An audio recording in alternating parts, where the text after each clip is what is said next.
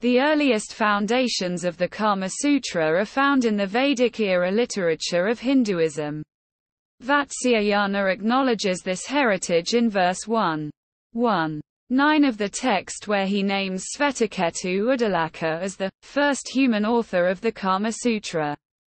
Udalaka is an early Upanishadic rishi, scholar poet, sage, whose ideas are found in the Brihadaranyaka Upanishad such as in section 6. 2.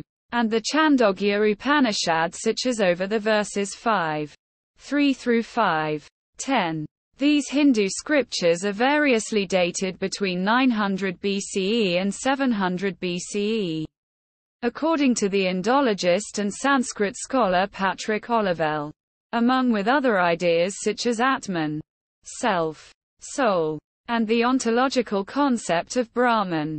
These early Upanishads discuss human life, activities and the nature of existence as a form of internalized worship, where sexuality and sex is mapped into a form of religious yajna ritual, sacrificial fire, agni, and suffused in spiritual terms.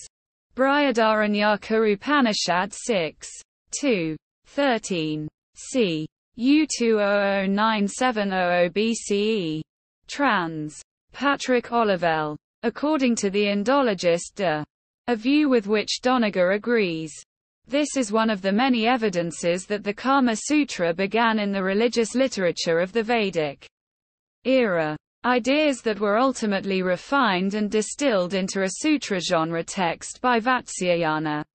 According to Doniger, this paradigm of celebrating pleasures, enjoyment and sexuality as a dharmic act began in the earthy, vibrant text known as the Rig Veda of the Hindus. The Kama Sutra and celebration of sex. Eroticism and pleasure is an integral part of the religious milieu in Hinduism and quite prevalent in its temples.